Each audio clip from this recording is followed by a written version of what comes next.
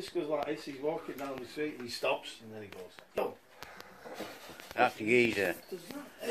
There's Franny. Do. I'm Elvis. and then he just goes on walking as though nothing's And there's Gary talking to his his young lady in Africa. Hello. Can't she see you? Say hello to Tony's missus. Can't say it, no. No, no. And that's Vic and his wife in bed. And we're going to throw Geezer in between them if they're having sex. Geezer, condom. Geezer's the condom.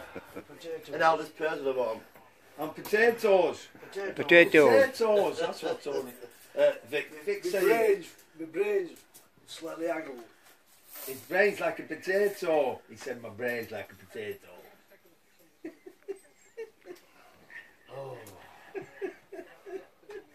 Look at him. This guy's a proper pisser, baby. He was, we were all asleep when he came, I think two o'clock. Yeah, it, it was not He was drinking. tits off. What time did you start drinking? He started drinking at 8 o'clock in the morning, no, I no, two no, slight- till 2 o'clock at I night. There you go, man. Can't- He can't can't do drink me. this guy. Fucking well. Because she kept me fucking awake all night. Oh my, you was that? Did you? You were having nightmares, man. You, You were woke having me up nightmares. and I thought, Are you fucking with me? hell. Yeah, No. Hearing it. weren't he having nightmares, Yeah, I know. geezer? He was having nightmares. He's fucking.